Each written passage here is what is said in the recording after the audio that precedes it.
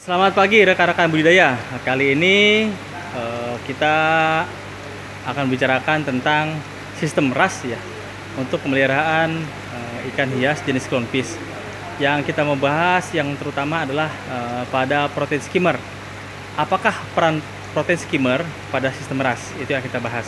Kita bisa lihat di sini ikan-ikan yang dibesarkan di bak-bak terkontrol ya ini bak fiber uh, volume kurang lebih satu ton. Kita lihat ikan-ikan yang dibesarkan. Ini jenis uh, bulan sabit. Kemudian uh, ada juga jenis yang lain. Ini jenis black cotton. Kemudian kita bisa lihat juga di sini jenis Picasso. Dan yang terakhir di sini ada jenis bulan sabit juga. Nah ikan-ikan ini dipelihara di bak fiber. Kemudian sistem pengairannya kita gunakan sistem ras. Jadi resirkulasi tertutup.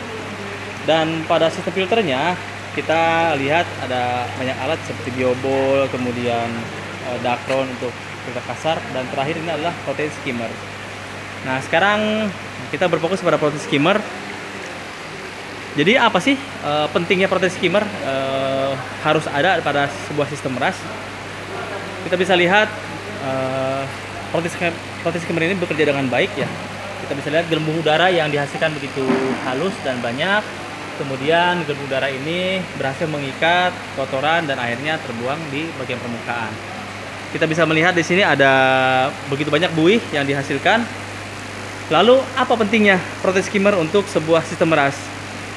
Jadi kawan-kawan untuk pengetahuan bagi pemula ya, mungkin kalau kalau yang sudah master pasti sudah sangat tahu ya. Kita bicara ini bagi yang pemula, mengapa sih untuk uh, sebuah sistem ras itu perlu ada protein skimmer? Jadi protein skimmer ini e, berfungsi untuk memisahkan protein atau lemak yang terlalu pada air.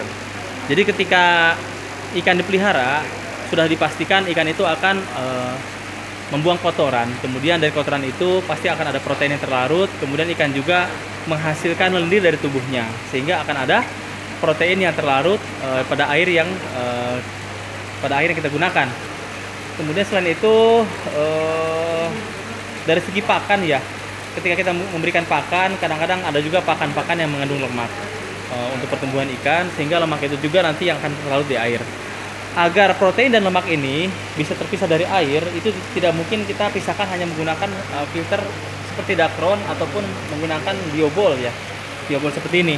Karena biobol ini sebagai filter bakteri, uh, filter biologi ya untuk merubah amoniak dan dakron sendiri hanya mampu menyaring seri, uh, kotoran kasar ya. Contohnya adalah ikan atau kotoran ikan.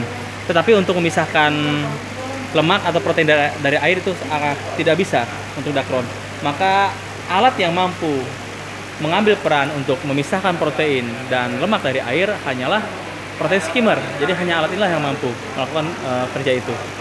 Untuk itu setiap kita yang memiliki sistem ras atau membuat sistem ras untuk air laut maupun air payau kita wajib memiliki protein skimmer.